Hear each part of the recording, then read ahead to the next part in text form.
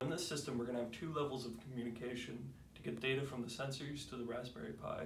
The first level, where you have Raspberry Pi, and the Arduino, where the Raspberry Pi will be the, the master in the communication and the Arduino will be the slave. Due to the limited I2C interfaces of the Arduino and some other factors, we chose to use SPI for this communication.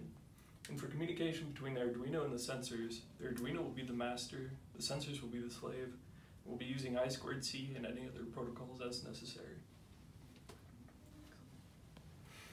So the two different communication protocols we're going to be using, first is I2C, which is two wire. Uh, it's compatible with a large number of sensors. The message in the message format for the device is usually specified by the sensors.